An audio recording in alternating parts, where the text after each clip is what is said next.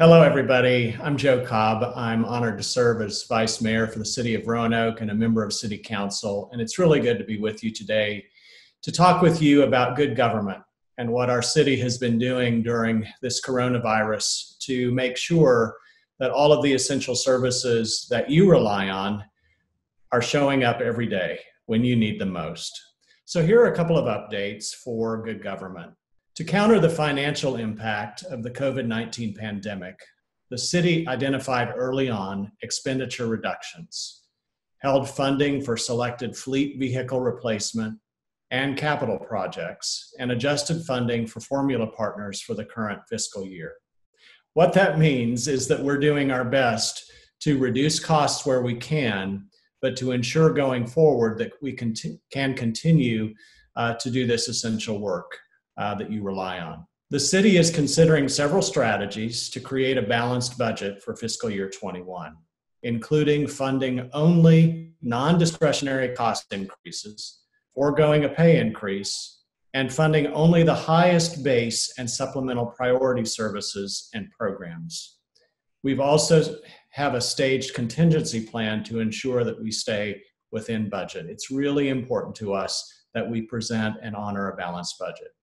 In response to t- challenges in paying taxes due to the COVID 19 pandemic, the city has extended the deadline for business and personal property tax payments to June 30th.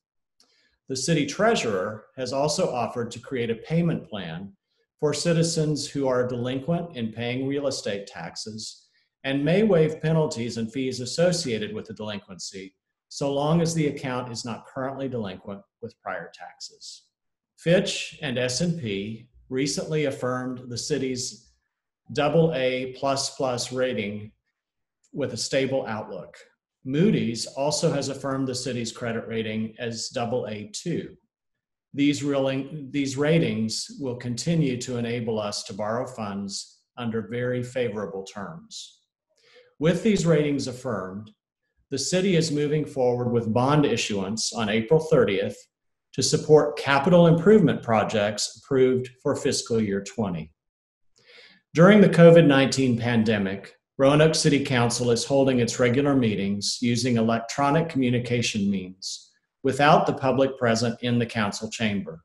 In fact, none of council is in the council chamber. We are all meeting electronically. The public may watch city council meetings through live cablecast on RVTV Cox Channel 3 and through live stream on the city's Facebook page. You may sign up to speak at these meetings by contacting the city clerk's office in advance at 540-853-2541 or online. On Wednesdays at 3 o'clock p.m., the city holds a virtual press conference to update local media and the public on the city's COVID 19 related activities. These will continue through June 10th. The city has established a COVID website at roanokeva.gov slash coronavirus. Links are posted on this site to provide information to the general public, businesses, employees, and Spanish speaking residents. The Community Engagement Office is also sharing information within our community via social media channels, including Facebook, Twitter, Instagram, and Nextdoor. That's a lot of information. Now, the heart of good government. Government is good when we work together, day in and day out, to bring forth our best as a city. Thank you to all of our employees for all of your hard work and dedication in keeping our city humming. And thank you, everyone who calls Roanoke home. Thank you for your creative and compassionate spirit during these difficult days.